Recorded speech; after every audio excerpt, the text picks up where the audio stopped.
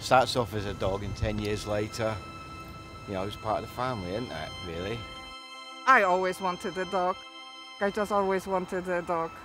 And I saw her picture on the website and I fell in love straight away. Um, I had a dog before and um, I needed needed something. Living on your own, she's a, a little face to wake up to. I just needed a dog.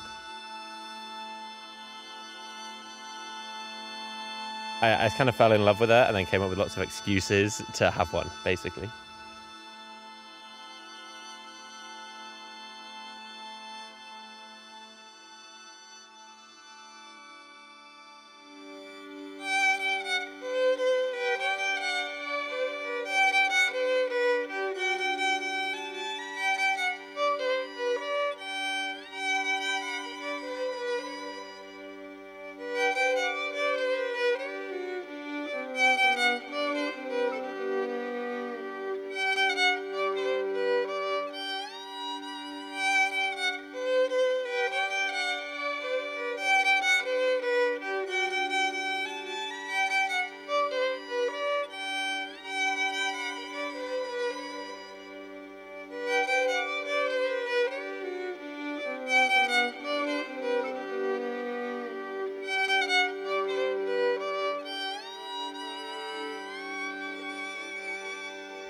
I remember when I moved in with her.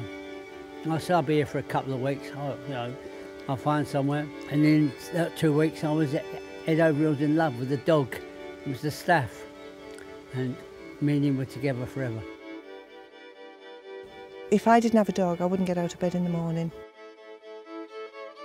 Family friend gave him to us. Yeah. Um, sadly, she passed away while he was a puppy, and no one else was able to take him. So we said, of course we will you know?